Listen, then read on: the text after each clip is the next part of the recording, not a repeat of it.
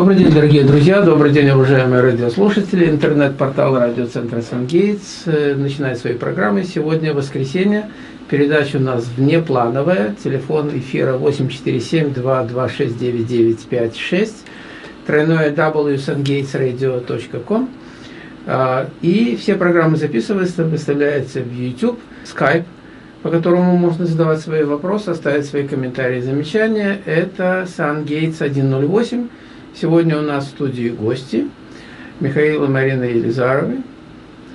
И э, Марину Елизарову мы знаем давно, поскольку на э, многих радиостанциях города Чикаго она вела программу, э, и эта программа была очень-очень востребована, приносила очень серьезный рейтинг, поскольку темы, темы, которые освещались в этой программе, были какие-то непонятные, неизведанные и тайные, так она называлась, необъяснимые рядом.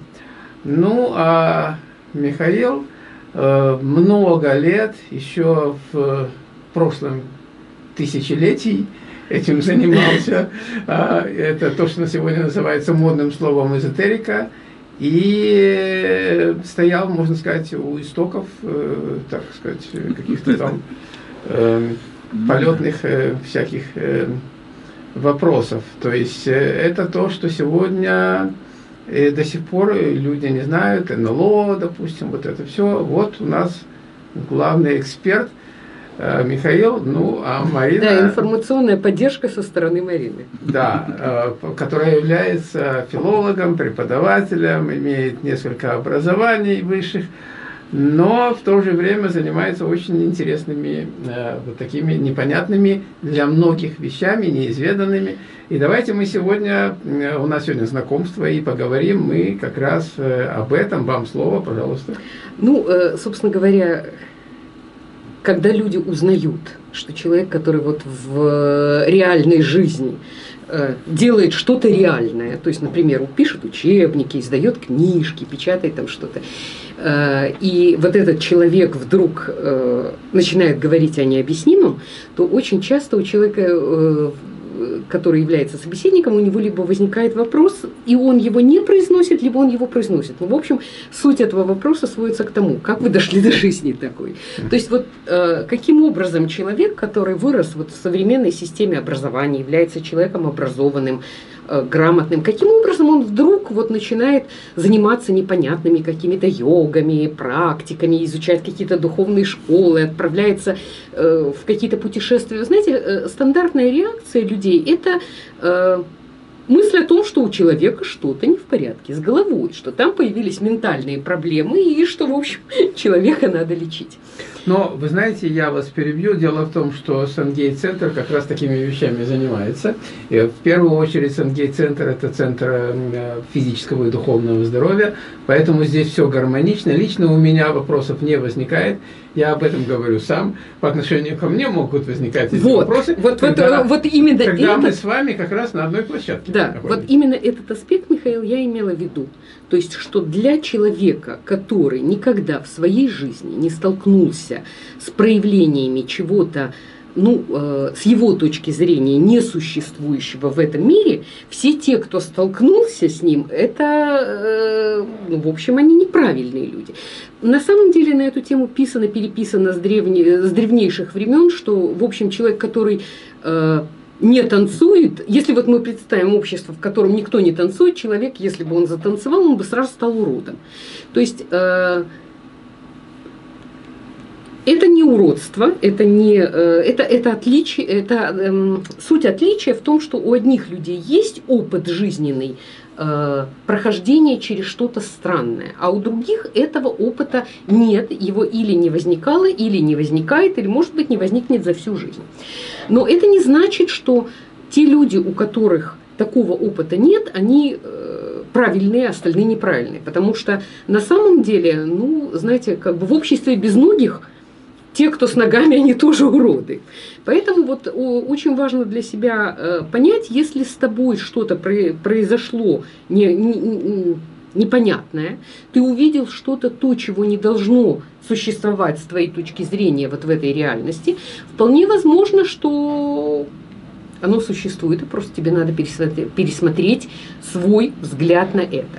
И вот это то, о чем я часто говорю, о том, что э, люди приходят к э, изучению этих вещей э, тогда, когда на них наехал танк. И вот здесь я сразу поясню. Для того, чтобы на тебя наехал танк, нужно, чтобы в жизни произошло что-то такое экстраординарное, чтобы оно поменяло взгляд очень э, радикально на реальность, на действительность.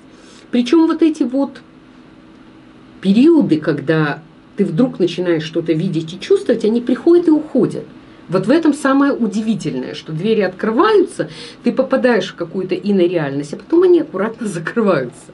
То есть ты прошел какой-то важный э, важную точку, и вот мы часто говорим о том, что в жизни человека бывают точки бифуркации. Вы знаете, что это такое, да? да. Это математически точная точка, из которой возможны э, две абсолютно равноцен... два абсолютно равноценных движения.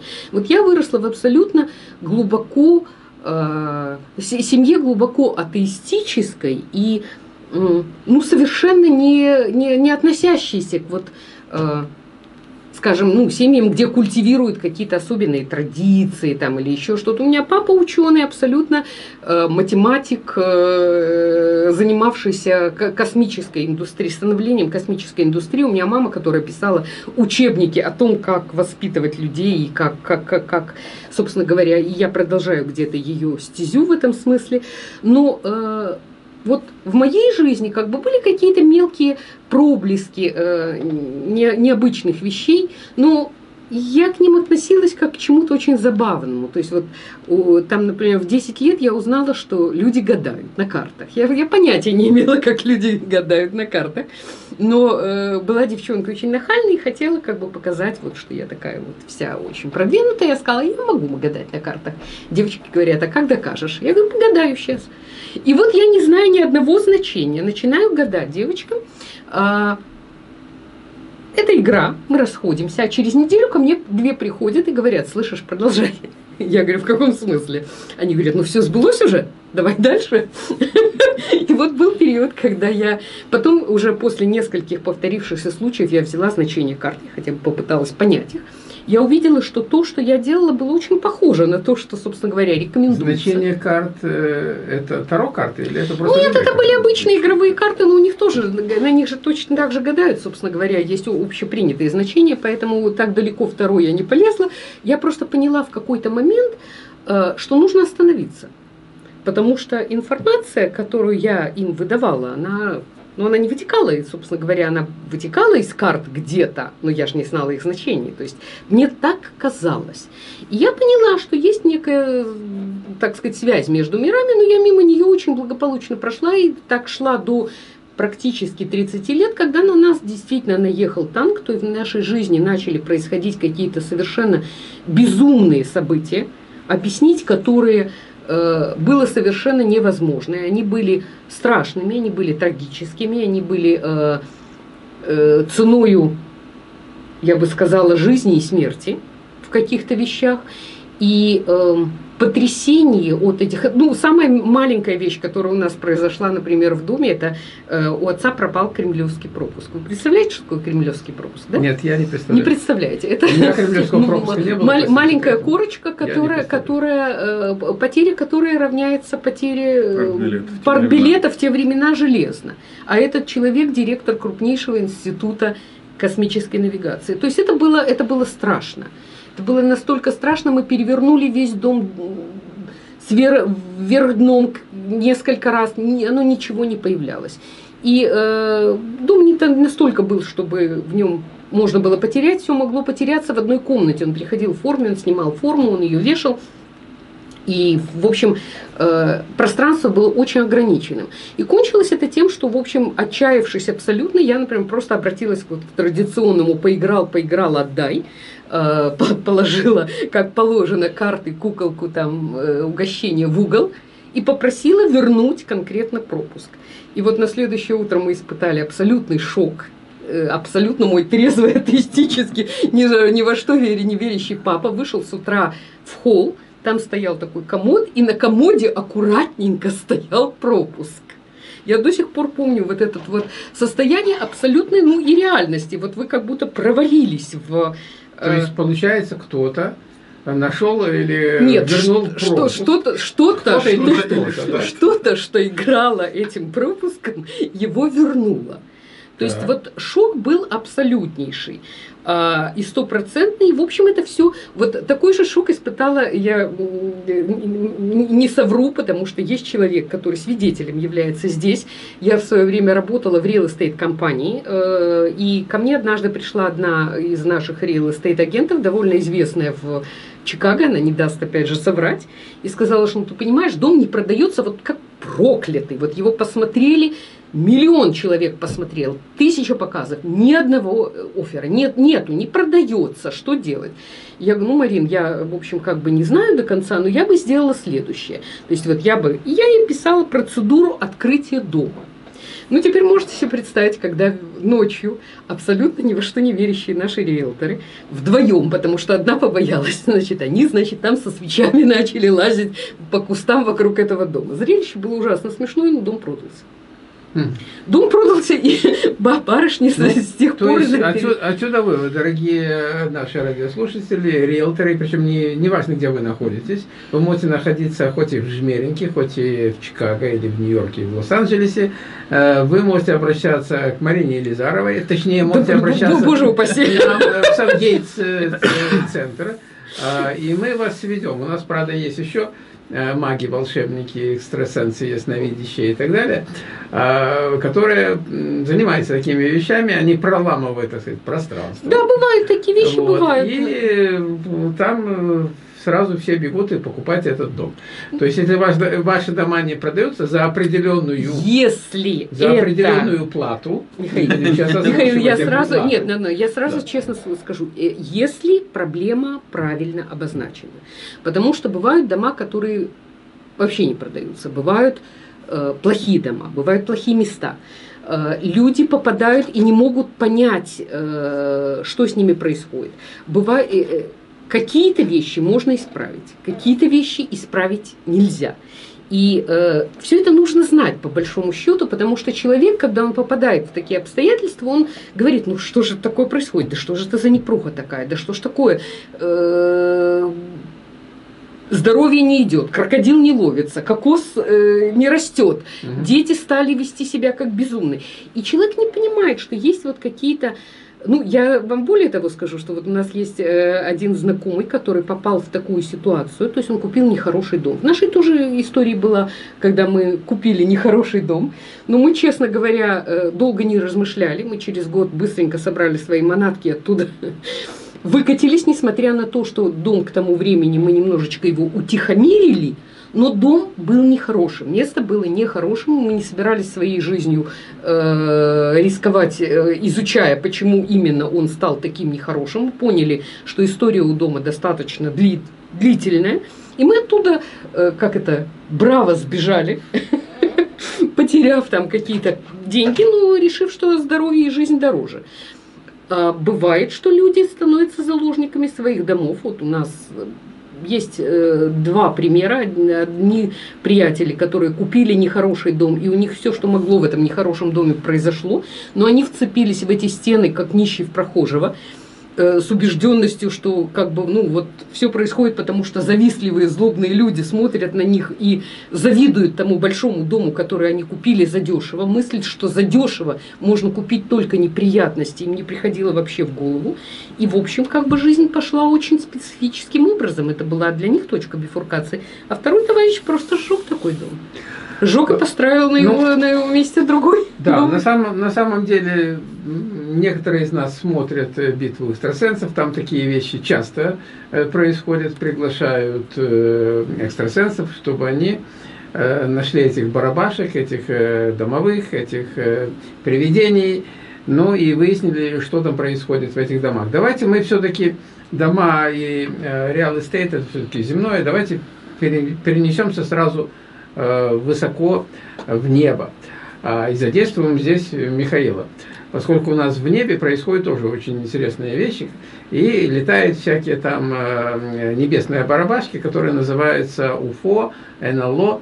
А, ну, вот эксперт у нас э, Михаил в этом плане. Я читал, э, причем неоднократно читал, о том, что и летчики, и космонавты, в том числе и наши космонавты, советские, российские, они когда летали, э, да, не только, естественно, они когда летали в космос, они видали какие-то совершенно непонятные вещи, непонятные явления, причем все это дело было очень и очень засекречено.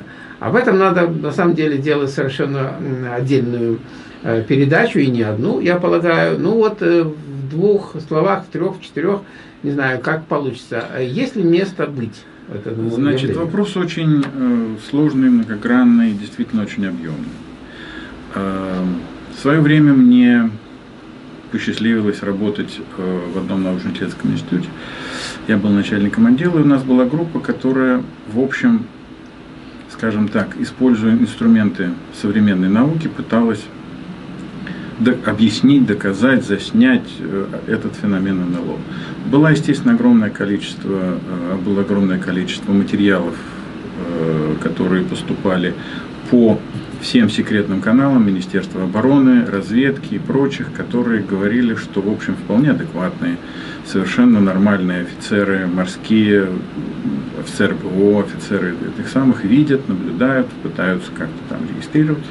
Вот. И группа пыталась как бы на территории тогда еще Советского Союза существовало несколько мест, где они появлялись наиболее часто, вот эти как, бы неопознанные эти самые объекты. И вот эта группа, туда в нее даже входил один экстрасенс. Вот, они пытались заснять, пытались, э, может быть, попытаться войти в контакт, получить какую-то информацию, но так далеко дело, конечно, не пошло. Вот, но факт сам по себе абсолютно объективный. То есть существует определенное количество явлений, которые не объясняются современной наукой. Что такое НЛО? Кто такие э, НЛОНАВТы или как угодно их можно называть? Э, вопрос, в общем, скажем так, открытый. Однозначной теории, однозначного объяснения, кто это, что это, не существует. В зависимости от той или иной гипотезы, которой вы придерживаетесь, вы, соответственно, можете иметь различные объяснения этой ситуации. Вплоть от того, что еще в конце Второй мировой, э, ну, в общем, в конце Второй мировой войны э, немецкой Германии удалось создать летательные аппараты в виде диска. Э, существуют определенные документальные подтверждения, фотографии, как-то заснятые элементы полета, вот, который э, передвигался на совершенно других принципах, чем современные летательные аппараты. Дальнейшая его судьба неизвестна. Известно, что единственный прототип был разобран, погружен на какие-то подводные лодки и куда-то вывезен. Следы на этом теряются. Весь отдел ННРБ, который существовал в той же самой немецкой Германии, практически в полном составе исчез. Огромное количество подводного флота немецкой Германии, ну не огромное количество, но в общем достаточно большое количество подводных лодок исчезли. Часть из них находилась потом в районе э, Южной Америки, без экипажа, просто на, выброшенные на берег. Куда делись остальные, неизвестно. Есть материалы, говорящие о том, что экспедиция э, военных кораблей Соединенных Штатов под управлением вполне адекватного адмирала э, двигалась в сторону Антарктики, была атакована э, неизвестными летательными аппаратами, которые выныривали из воды, перемещались на огромной скорости и, в общем, практически не были не было возможности их каким-то образом уничтожить. Эта экспедиция развернулась, вернулась назад, материалы поэтому тоже, в общем, частично засекречены, что-то, естественно, проникает в средства массовой информации. Вот, поэтому гипотез как бы очень много. Я был знаком с одной э, школой, скажем так, которая занималась, имела э, контакты с неземными какими-то силами, с высшей какой-то тем самым, с высшим разумом, который нетрадиционными методами э, надиктовывалась какая-то информация. Там была совершенно другая, своя гипотеза, что это некая э, инопланетная цивилизация, которая курирует Землю и ведет определенные как бы, наблюдения за Землей, стараясь помогать, стараясь как бы это самое, в общем, чтобы люди сами себя не уничтожили и прочее, и прочее.